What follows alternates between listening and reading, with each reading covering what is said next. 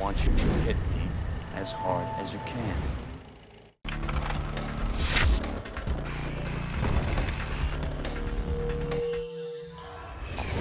X-Men Days of Future Past. The future. A dark, desolate world.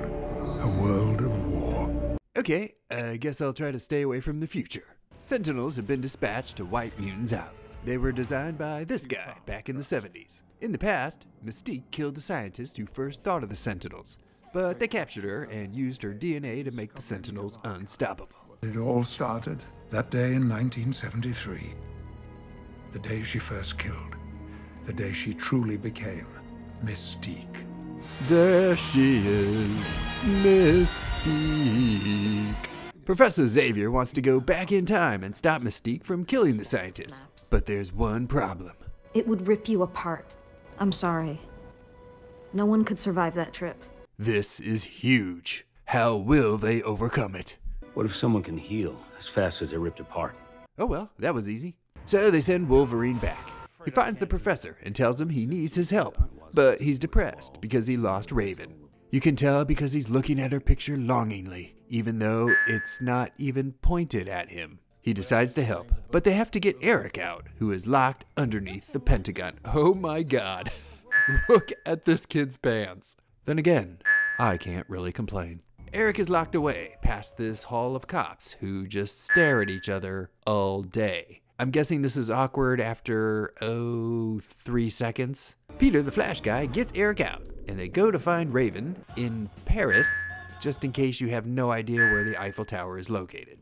There is a summit to end the Vietnam War, and this is where Raven tries to kill Trask, but Charles and Eric stop her. But then Eric thinks he has to kill Raven to make sure the humans never get her DNA. She escapes, but not before the whole world learns about mutants. They also collect a perfect sample of her blood, even though there was an entire stampede and no one stepped on it. With Raven's DNA, Trask can finally build his Sentinels, saving the human race, setting up the best inspirational species speech ever. Never before. In all of human history, has there been a cause which could unite us as a species? Until now. This dude was five feet away from the greatest speech and never even knew it. Meanwhile, Charles is having trouble believing in his powers, so Wolverine tells him to look into his mind. By the way, you, you might see a couple things in there with me and Jean. Uh, just fast forward past those parts. In Wolverine's mind, Charles meets himself in the future. Oh crap, I'm still crippled. And I'm completely bald? Fuck! So Charles believes in himself again, and they go after Raven in Washington, D.C., just in case you don't know where the Pentagon is. Eric is already there and walks into the Pentagon, because I guess it just takes a hat to do that, and he steals back his helmet. On the way to DC, Wolverine wants Charles to promise to find all the X Men and help unite them, no matter what happens. There's so many of us. Storm, Scott, Jean.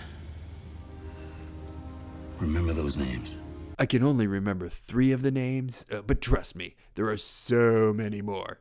Just don't ask me who they are. The president is going to make a national address outside the White House.